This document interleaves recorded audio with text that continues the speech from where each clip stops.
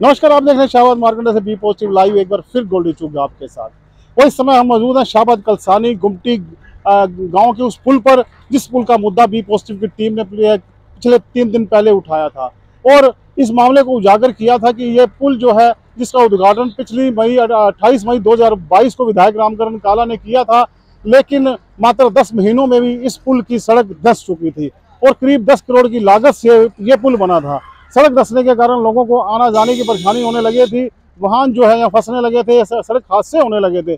जिसके, जिसकी बदौलत गाँव वासियों ने बी पॉजिटिव की टीम से संपर्क किया, टीम यहाँ पर पहुँची, जिसके बाद इस समस्या को प्रमुखता से उजागर किया और लोगों ने भी अप्रिशिएट किया बी पॉजिटिव की टीम को। लेकिन आपको आज हम धन्यवाद करेंगे विधायक रामचरण काला का जिनके निर्देशों के बाद इस पुल का जो है समस्या का समाधान शुरू हो चुका है। इस पर इस पुल को ठीक करना शुरू कर दिया गया है। इसका निस्तारीकरण शुरू कर दिया गया है। उम्मीद है दो चार दिनों में ये जो बिल्कुल, ये पुल बिल्कुल ठीक होकर नया बनकर तैयार हो जाएगा और जो ग्रामीण है आराम से यहाँ से आ जा सकेंगे, आवाजाही हो सकेगी।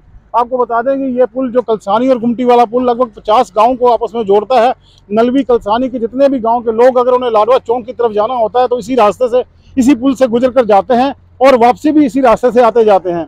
लेकिन इस पुल की सड़क धसने के कारण लोग यहाँ से नहीं आ जा पा रहे थे। लोगों को परेशानी का सामना करना पड़ रहा था, जिस कारण भी पोस्टिंग की टीम यहाँ पर पहुँची और से मामले को प्रमुखता से उठाया गया। उसके बाद जनता की आवाज़ उठाने के बाद, जनता की हकों की आवाज़ उठाने के बाद बी पॉजिटिव को अच्छा रिस्पॉन्स मिला और वे प्रशासन और विधायक रामकरण काला ने इस बात को समझा और तुरंत प्रभाव से ठेकेदार को इस पुल को दुरुस्त करने के निर्देश दिए। आज देखने की समय, आप देख रहे हैं जैसी भी मशीनें यहाँ पर लगी हुई हैं और मुझे उम्मीद है लगभग पाँच चार दिनों में ये बिल्कुल बिल्कुल फिर से बनकर तैयार हो जाएगा। जनता इसको यूज़ कर सकेगी।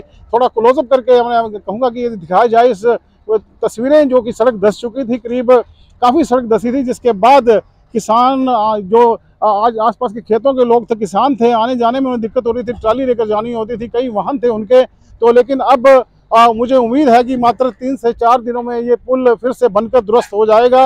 और ग्रामीण फिर से एक बार इसे यूज़ कर सकेंगे मैं आपको बता दूँ कि जनता की आवाज़ को उठाने के लिए बी पॉजिटिव की टीम हमेशा संघर्ष करेगी, आप प्रशासन तक पहुंचेगी, राजनीतिक लोगों तक पहुंचेगी, विधायक तक पहुंचेगी, मंत्री तक पहुंचेगी, लेकिन लोगों की आवाज़ को दबने नहीं दिया जाएगा। पूरी सशक्त ढंग से लोगों की आवाज़ उठाई जाएगी और इसी तरह से समस्याओं का निधान किया जाएगा। फ़िलहाल बी पॉजिटिव में इतना ही। गोल्डी चुक शावल मार करना विधायक जी, जिस तरह से का काम था, शुरू हो चुका है। कब तक कम होने की चांस है? देखो वो हमारा जो आप गुमटी मलकपुराना गोल्डी जी आप बता रहे थे भी जनता की डिमांड थी भी पर सड़क बैठ गई मैं देख आया था वो सड़क ना जो एकदम टक्कर उसकी तरह से मट्टी जो है पानी लगा एकदम बैठ गई थी।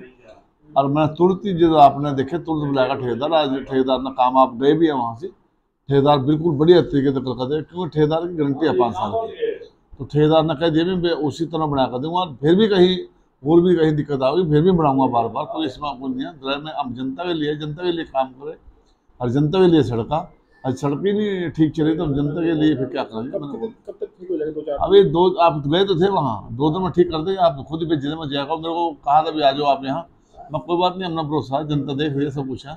तो आप मतलब जल्दी हमारा पूरा इलाका सुख शांति बढ़िया तरीके से हमें तो भगवान पर ये प्रार्थना करूँगा, जैसे फ़सल का ठीक उठी मौका दिया अपना, बरसात तो ज़रूर पड़ी, पर बाकी फिर भी हमारा नुकसान जो फ़सल का, जो जिम्मेदार किसान ना ठीक टाइम पर फ़सल उठा लिया अपनी तो यही हमारा बद है तो पूरे जिम्मेदार किसान भाइयों को, इस की बधाई दूँगा भी, अब स्टेम्पूस भी बन चुका है और कड़म भी कट चुकी है तो यही करूँगा भी, हर साल भगवान के और आगे तक बढ़ती चली जाए फ़सल, और इनका टाइम चल रहा है।